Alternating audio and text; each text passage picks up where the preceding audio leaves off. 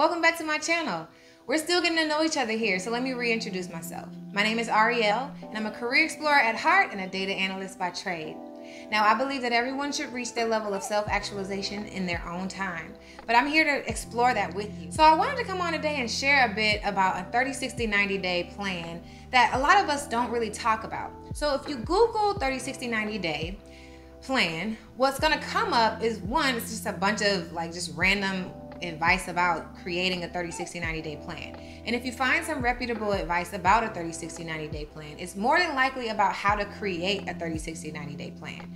And creating one is all good and gravy, but what do you do when you actually have one created? How do you execute it? So today we're gonna jump into how do you execute on a 30, 60, 90 day plan? And then how do you level up in your career so that you can just always rely on that information that you set an expectation on in the beginning. So, like I said, when you search a 30, 60, 90 day plan, you'll get a lot of information. Some of it's helpful and some of it's not. But there are two real reasons why you'll actually need a 30, 60, 90 day plan. One is when you're interviewing. Bringing a 30, 60, 90 day plan towards the end of an interview will give your interviewee a perspective of how you actually think and how you plan to execute on the role if you were hired. So it kind of gives them a glimpse of the strategy, the strategic thinking that you have, and it gives them a glimpse of some of the plans that you have. Can you see yourself in the role, and then how will you insert yourself so that you add value? So, creating a 30, 60, 90 day plan to speak to what you plan to do in an interview is a great way to set yourself apart from the, from the competition. Now, another reason that you would actually create a 30, 60, 90 day plan is two weeks into the room into the role. So the reason you'll create a 30, 60, 90 day plan is for you to set a foundation and start to put a plan together that you hope to execute in the in the process. Now, if you create one two weeks into your role and you present it to your to your boss, then you'll be able to set expectations on how you want the job to go. So a misconception that people have when they're doing a 30, 60, 90 day plan is for them to put like small tasks on there that they're to do in their 30, 60, 90 day plan that's to help them in the job. But what you want this 30, 60, 90 day plan to be is a conversation on how you can add value to the company. And you're creating objectives based on what your boss's um, priorities are so that you can align on what success looks like in the role a lot of times we talked about like the leadership styles, right? So a lot of times if you take this task manager approach, then you're not owning the task that you're doing. You're literally just taking tasks as they come. But if you come into the role with a 30, 60, 90 day plan, you're letting your boss know that you've already started to strategically think about how you can level up in your career. Now, individually, of course, by you having a 30, 60, 90 day plan, you're deciding how do I want to show up in my role? So when you what you what you what you'll need to consider when you're doing a 30, 60, 90 day plan is what you want your brand to be as well as what the company objectives are. So I'll talk a little bit more about five tips that I can give you so that you can execute on a 30, 60, 90 day plan after you create one. Now, just to remind you, a 30, 60, 90 day plan is not a learning plan. This is not for you to say, well, in the 30 days, I'm going to meet with this person and learn about this. In 60 days, I'm going to meet with that person and learn about this. If you're coming into a role where you're having more leadership um, expectations, even if your boss doesn't set an expectation, it's really great for you to set the roadmap and then align on it so that you can move forward. Now, if you have a boss and they're they're not really micromanaging, this is also a good way to relieve them of a little bit of control so that you can actually take the ranks of your own career. So what, what that does is it allows them to not just kind of micromanage you and decide, okay, well, let me keep giving this person something to do. You've already set your roadmap and you've already designed how am I going to focus my time in the next 30, 60, 90 days so that they can actually know, okay, let me back off and let them do their job. Now, the goal of a 30, 60, 90 day plan, like I said, is to create, to establish a um, benchmark for success, right? So these five tips are gonna be for you to execute on that 30, 60, 90 day plan. Now, in your 30, 60, 90 day plan, you're gonna wanna have objectives. Now, these objectives are, they should be aligned with the company's goals. Now, objectives could be you know, streamline the project management process or streamline or document best practices within the uh, quality assurance department. Once you identify, you know, 10, 10 objectives, let's just say you find 10, then you'll want to bring at least three to the table so that you can come have a conversation with your boss about what objectives you have in the role. Now, the way you find these objectives is by coming onto the, the job by exploring what you're experiencing. So, take the first two weeks not to come out with these objectives, but for you to formulate your objectives by actually observing what's what the processes what processes are already in place as well as identifying areas of improvement based on your own skill sets. So when you think about exploring and, and understanding what's going right what's going wrong who are the key people involved your 30 60 90 day plan is not individual to you. Your 30 60 90 day plan should consider other people which takes me to my next point in your 30 60 90 day plan you're going to first identify what objectives and the rate the way you're going to do that is by two um, exploring you'll need to identify people in the organization that are going to help you execute your 30 60 90 day plan I suggest that after your first two weeks, you start putting some coffee chats on people's calendar so that you can understand what they like about the role and what they don't like about the role. How can you be more of assistance? And then how can you actually level up? What was the person in the role like before you and then how did they actually you know move? How did they how did they like to work together? In your 30 60 90 day plan you need to have objectives as well as people stakeholders who are going to be a part of this 30 60 90 day plan. This gives you a global perspective it allows you to conceptualize the role in your first two weeks and then give your boss a really good foundation that you understand the role and you've identi- identified areas to to attack to attack some objectives and the next part are going to be really, really um, important. So, deliverables. Your 30, 60, 90 day plan is going to have deliverables. Now, your deliverables can be anything from a one pager training document or a program that you want to implement based on the, the, the areas of, of um, improvement that you notice. You'll want to have KPIs that you've uh, explored and understand that the team actually tracks so that you can improve, you can implement that into your program or your plan. Or you can talk about how this deck or how this training module is going to increase the bottom line or improve productivity or increase team morale. You'll want to talk about the, how the deliverable is going to drive success. Now, in your first two weeks, not only are you exploring to understand your objectives, you're also exploring to understand the people involved. And lastly, you're exploring to understand which deliverable do you want to present to your boss.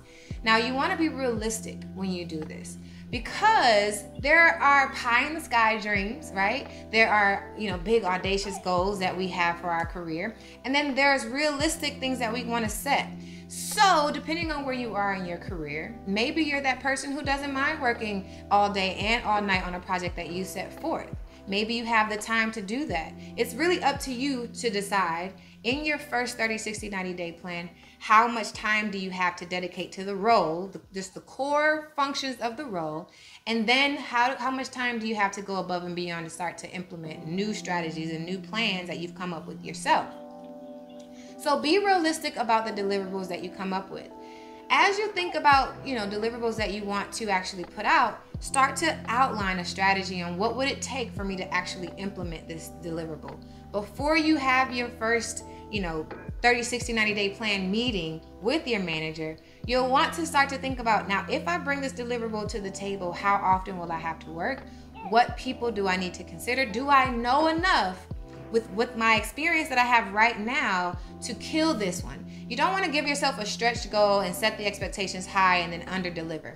You want this to be a deliverable that you've done in your previous role that you can bring to the table and it will be easy for you to execute because you, you've done it over and over and over again. However, when you implement some of the company's objectives into that plan, then you'll be able to mesh the two something that you've done before so it doesn't create this extra workload for yourself, and then a new strategy, a new way to think about it so that you can bring something new to the table within your first 90 days of being on the job. So that's your deliverable. Thinking realistically about what it is that you want to deliver is essential for you to keep that work life balance, but it's also really important for you to keep your brand intact so that you don't over promise and under under deliver. The most important thing about your 30, 60, 90 day plan is that you establish a cadence to meet with your manager. Now, like I said, if you have a manager who's not very micromanaging, then you might do a once a month meeting. If you're higher up in leadership, that means you won't need to meet with your manager as often. And so you'll set that cadence as is once a month, twice a month, once a week. It depends on your status in the company. And then it allows you to set that cadence so you can set a realistic timeline on when you expect to deliver on certain milestones. So you've set your 30, 60, 90 day plan. You have your objectives, you've thought about the deliverables that you want to put out there. You've outlined the one deliverable that you can actually execute on, and now it's time to establish that cadence. So, uh, considering everything that you know so far since you've been on the job, how does your manager seem? Do they seem like a micromanager or do they seem like they would like to be hands on in what you're doing? And then think about how often do you actually need to meet with them to gather more information based on the strategy that you've put together. Some of what you're going to do is going to need to be informed by the manager as well as your coworkers. And so you'll want to bake in those touch points. As you get more information, you'll be able to share part of your 30, 60, 90 day plan. As you get new information, you might be able to shift. And so you'll want to establish a cadence because if you just have a 30, 60, 90 day plan, and you never really talk about it, then it's like you never did one in the first place. So I suggest in your first two weeks, and I'm gonna challenge you here because if you've never put time on your manager's calendar, I'm gonna challenge you to go out there, establish that cadence, and then uh, allow them to tell you what works for them and what doesn't.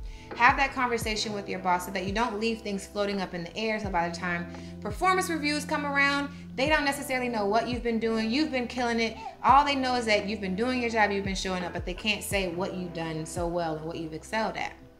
So again, establish a cadence.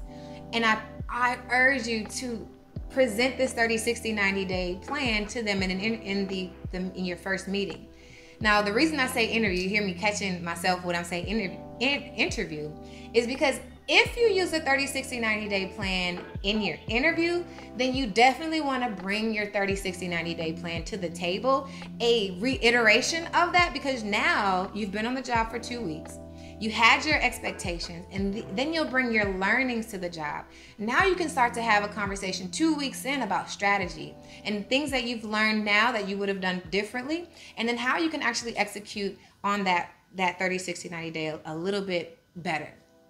Now, like I said, if you don't establish this this meeting, this cadence with your boss, then it's like you've never created a 30, 60, 90 day plan. And you'll end up being a task manager, which means you'll just start to take projects as they come, and that's not what you want to do. So this last thing that I want to bring share for you, this last tip, is for you to realign every quarter. So after your, your 90 days in, you're no longer a new employee. You have at least one deliverable that you've executed, and you have one win under your belt, so you can go ahead and add that to your resume. But you don't want to stop here. A lot of times employees get into autopilot. And so if you're an autopilot, yeah, you did the first 90 days, you rock them out the park. And then you start to just coast. If you just start to coast in your job, that means that you're not leveling up, that means you're not sharpening your tools. You're not meeting new people.